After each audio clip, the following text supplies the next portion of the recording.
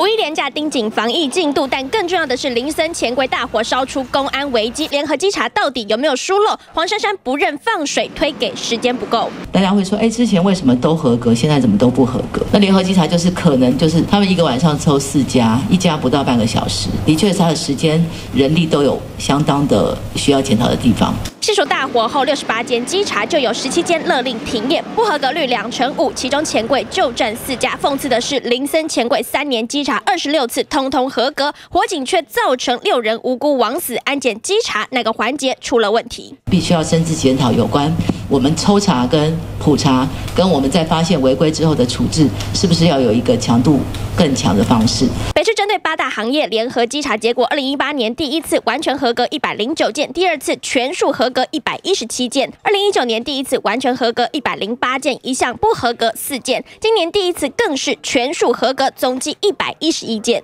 再到三月初，一百二十八间封闭娱乐场所安检也全数合格，含六间钱柜。但四月二十六号林森钱柜大火后，二十七号起大动作稽查，高达十一间电影院、四间钱柜、一间好乐迪不合格，遭质疑安检根本敷衍了事。哪有三月通过，四月大火？可能消防检查的